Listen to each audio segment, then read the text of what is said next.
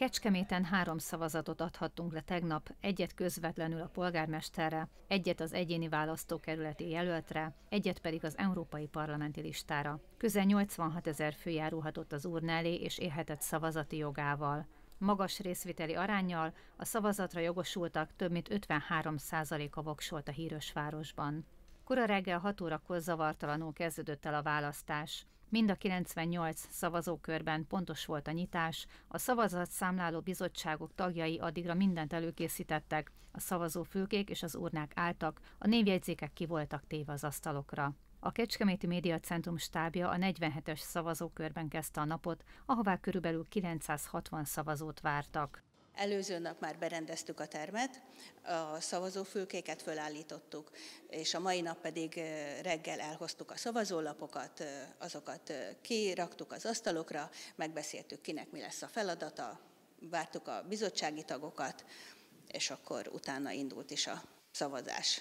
Reggel 6 óra után pár perccel érkezett meg az első szavazó, akinek ellenőriznie kellett, hogy minden rendben van-e. Az ő jelenlétében zárták le az urnákat, és tették bele az ellenőrző lapokat a mozgó urnákba.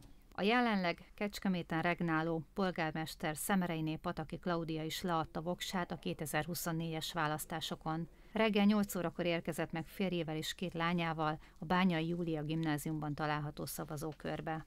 Fontos, hogy mindenki ki tudja nyilvánítani azt a szándékát, amit szeretne és amit kívánna, hogy ki képviselje őket a jövőben.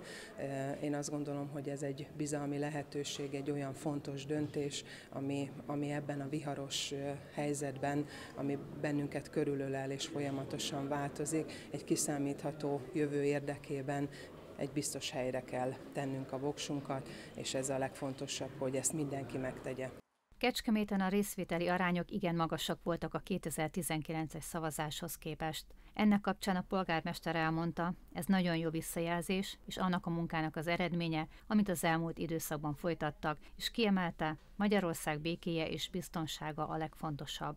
A szavazókörök 19 órakor bezártak, és elkezdődött az adatok feldolgozása. A Kecskeméti Média Centrum az új kollégium épületében található 47-es számú szavazókörben járt a záráskor is, ahol 19 óra 1 perckor a héttagú szavazatszámláló bizottság megkezdte az adatok feldolgozását a jegyzőkönyv vezető jelenlétében, miután az urnákat lezárták. Összeszámoltuk a megmaradt szavazólapokat, azokat kötegeltük, és utána borítottunk urnát.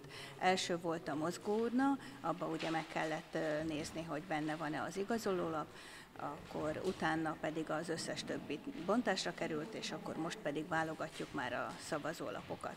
A 47-es szavazókörben 936-an szerepeltek a névjegyzéken, ebből 544-en éltek szavazati jogukkal. A nap folyamán nem történt semmi rendkívüli, mint ahogy Kecskemét egész területén rendben folyt a szavazás. A kecskeméti polgármester választáson magabiztosan nyert Szemerei Pataki Klaudia. Az egyéni körzetek többségét a kormánypártok képviselői nyerték meg, így marad a Fidesz-KDNP többség a kecskeméti közgyűlésben.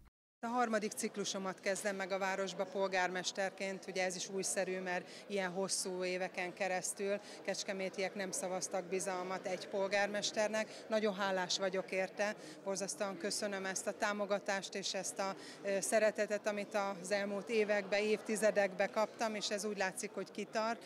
Meghálálták azt a munkát, amit tisztességgel, őszintén végeztünk a városért, a kecskeméti polgárokért, és az az óriási eredmény, hogy az egy egyéni körzetekben is nagyon nagy sikert arattunk, hiszen olyan körzeti képviselőink vannak, új körzeti képviselők, fiatalok, lendületesek, teli motivációval, teli energiával, nagyon jó közösségeket szerveznek, és ezt, ezt visszaigazolták a választópolgárok is, úgyhogy egy nagyon nagy városi fejlődésen keresztül ment Kecskemét, és ennek ellenére egy nagyon stabil, megbízható, kiszámítható város Kecskemét. Jelentős fölénnyel hozta választókörzetét többek között Lévai Jánosné, Pászti András, Sipos László, dr. Pap Zoltán, Nemcsik Mátyás, valamint új befutóként Gál Zsombor és Laszkó Zsámboki Angéla.